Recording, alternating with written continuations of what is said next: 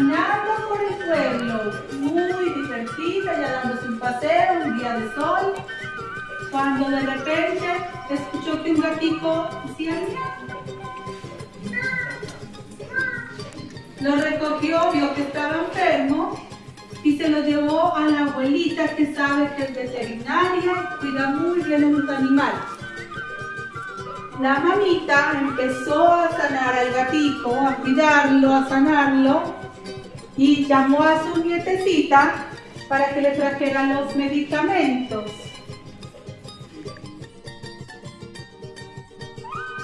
Muy buenas tardes, mi nombre es Marcela Quintero Ruiz, soy parte del colectivo artístico Andanzas.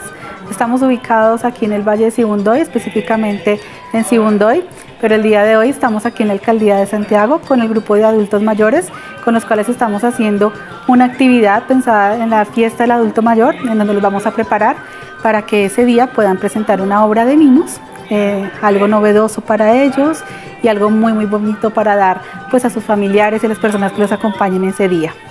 La duración pues va a ser esta semana, estamos eh, aquí en la alcaldía, los abuelitos van a venir en las tardes, vamos a compartir con ellos mucho teatro, mucha expresión corporal, vamos a involucrarnos en este mundo de, la cena, del teatro. Y bueno, por ahora hemos empezado hace un par de horas, están muy contentos, se han reído bastante y están muy dispuestos, que es lo más importante. Así que eh, de parte del colectivo Andanzas, eh, por mi nombre, por Marcela y también por el profesor Jorge. Estamos muy agradecidos por esta oportunidad y muy felices y honrados de poder compartir con los abuelitos y las abuelitas en esta nueva experiencia. Gracias.